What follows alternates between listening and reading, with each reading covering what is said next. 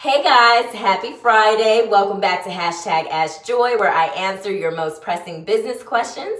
Thank you to those of you who are tuning in. I am Joy M. Hutton, your favorite trainer and business strategist.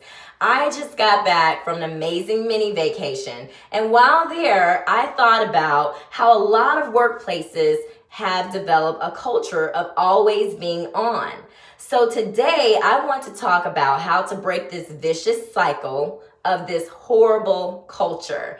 It is unfair to you and your employees to create a culture where it is the norm to respond to work related emails in the middle of the night, as soon as you wake up, and while you're on vacation. And I'm guilty, I did not turn on my out of office when I was on vacation. But in other words, how do you separate your work from other things? Okay, let's get started. Number one, create a no work zone. As a business owner, create a space at home or maybe at work, wherever your workspace is, that helps you completely detach. At home, it may be another room or your garage but you need a space that you cannot associate with work or your business. And as an employee, when you leave work, leave work. When you make it a habit of responding to emails, for example, outside of work hours, your manager will expect it of you. Put an end to bad habits. Number two, create to-do lists. As a business owner, you might spend moments lying awake in bed at night thinking about things you need to do. Your mind is constantly racing. Sound familiar? Well, at the end of the day, create a to-do list so that you are not having to worry about these things when you go to bed at night and you know what you have to do the next day. And as an employee, do the same thing. You should not have to worry about what you have to do the next day if you already have your task outlined. Okay, Number three, say no to mindless or aimless meetings. As a business owner, say no to mindless meetings. I can't say that enough. This is time that you can use to finish any task and eliminate doing any extra work at home.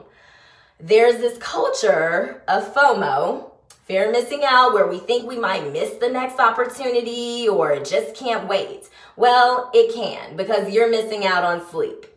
As an employee, it's okay. Step away. And don't impose meaningless meetings on your employees either. They could be using this time to be more productive. Number four, set boundaries on technology use. Technology can make your job more efficient, yes. However, failure to disconnect from it can have a negative impact on your health and well being. For example, turn off your notifications after work hours. Google has features for that. Your iPhones, Androids, all these devices have set settings where you can manage your time for different tasks. Take a break from your computer screen, screen. Get up and walk around. And set boundaries for yourself as well as your employees. Within setting boundaries, also learn how to identify the signs of burnout. You don't want your employees walking around looking crazy. Okay, finally, set boundaries with your clients and your customers. They can be the worst. As a small business owner, when you have created a codependent relationship with your clients, they think they can have access to you whenever they want. So be clear from the beginning about when they should and should not contact you and set expectations for when they can expect a response from you as well. Okay, that's all I've got. Remember, being a workaholic is not always a good thing. Learn to unplug and get rid of that horrible workplace culture. Thank you for watching. Like, comment, and share, and I will see you guys back here next Friday.